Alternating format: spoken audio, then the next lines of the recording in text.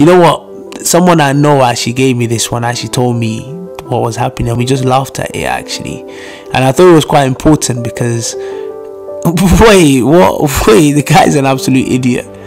Absolute idiot. Look, listen. I know you like your girl, or if you're with your girl, fair enough, fair play. But paying, using a loan to pay off a loan.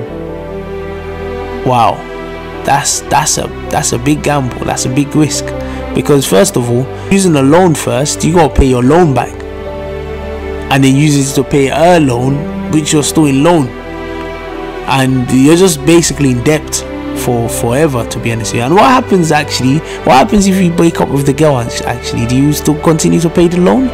Because student finance loans is not a cheap loan at all. It's a lot. It's a lot of money. It's a lot of money you gotta pay. Trust me. There's a lot of money. It's better to keep your money, use it for something else, use it to do something else with yourself.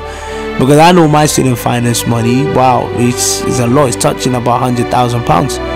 And I remember there was one time where my mom must have seen the letter for the student finance and she saw how much I was we was owing and she started screaming and I was like ah oh, mom don't worry about it after like 25 30 years it's getting it is going to get wiped off